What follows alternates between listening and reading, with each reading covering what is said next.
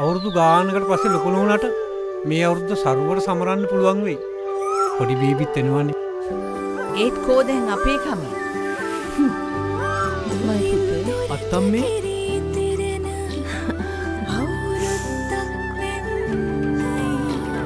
car